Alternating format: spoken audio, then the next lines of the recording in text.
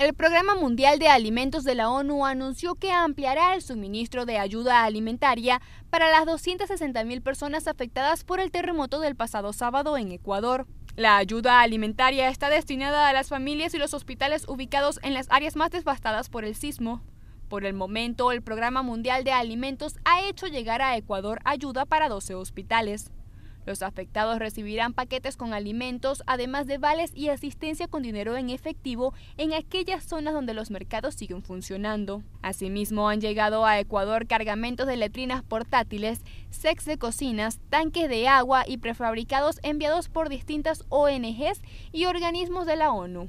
Por su parte, la Agencia de Naciones Unidas para los Refugiados anunció que iniciará hoy la distribución de ayuda entre 40.000 víctimas del terremoto y que están llegando desde las zonas más afectadas por la catástrofe. Desde nuestra plataforma multimedia, Luz Rodríguez, Notiminuto. Minuto.